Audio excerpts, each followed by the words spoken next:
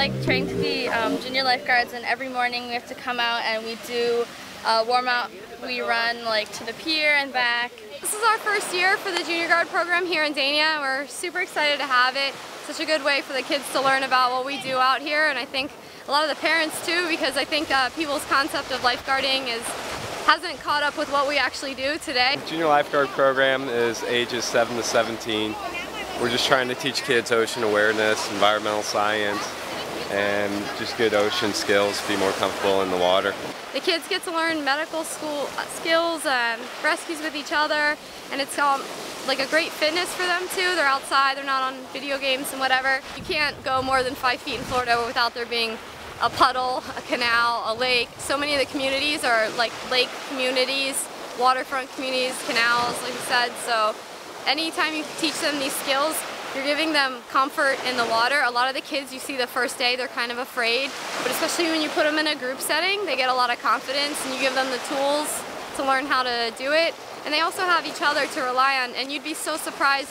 We have very, very little kids that within the first day, we give them a buoy and they're able to actually rescue each other. I learned how to use the boards rescuing people and kayaking. So it's kind of getting comfortable with being uncomfortable. So that feeling of having a strap on you and the weight of someone else, but also recognizing when someone's in trouble and how to help them and stuff like that. So I have no doubt that these kids, if anything were to happen to them, if they fell off of a boat, a kayak or whatever, we're giving them a lot of skills to be okay. Like they won't panic. We have kids that were very reticent to jump off of a kayak out there on the reef and by the first day they're having so much fun, they're swimming around, they're not scared at all anymore. I can barely contain them, so it's really good.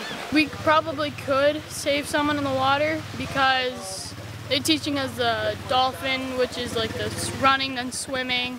They're teaching us how to use the buoys, um, the rescue boards, and all that if you join this club, you, you learn the skills of not only being a lifeguard, but for like to be a doctor or a nurse. You can see right now, like just having them go out in the reef, some of the older kids are taking responsibility over the younger kids, helping out them out as well. So it teaches, teaches young ones to be comfortable in the water and it teaches the older kids also to be responsible and look after the younger kids while in the environment.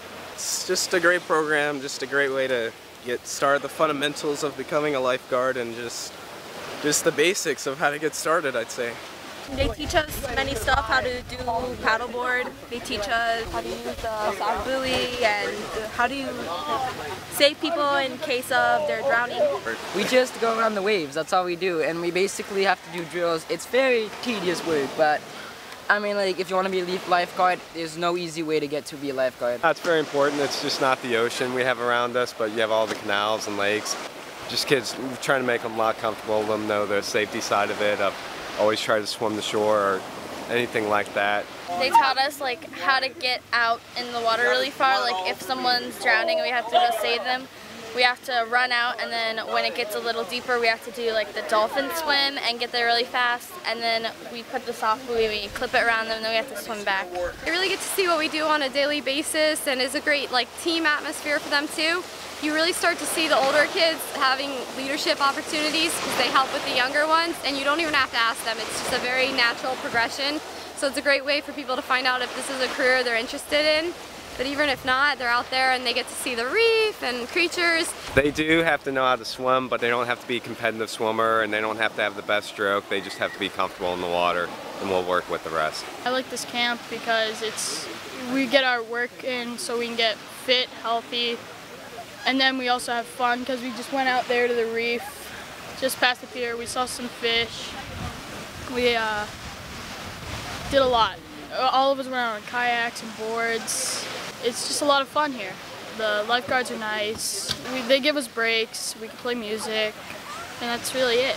Definitely have a very professional team, and they're highly trained. They go through USLA, which is United States Life Saving Association. They've gone through um, officers candidate school, which gives them the credibility to teach lifeguarding. And two of them are actually certified to teach uh, Red Cross lifeguard and CPR. We do have guards that are working on duty while we're running the program. They get to see the action live. We had bird rescues going on and the kids are able to jump in and be hands-on and help us out with stuff. So it's pretty cool. We're going to be able to give the kids that are interested in certifications and higher level kids that are a little more advanced and older, if they're interested in progressing, we're kind of able to work with them one-on-one, -on -one, so I think that's something that's unique about our program.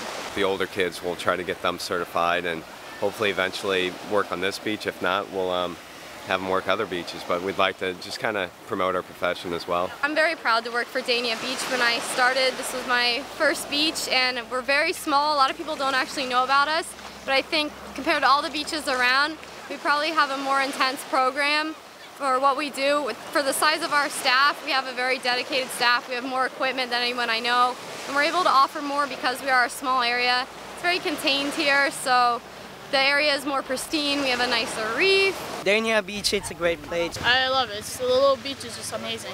The program is like the best thing I've ever seen.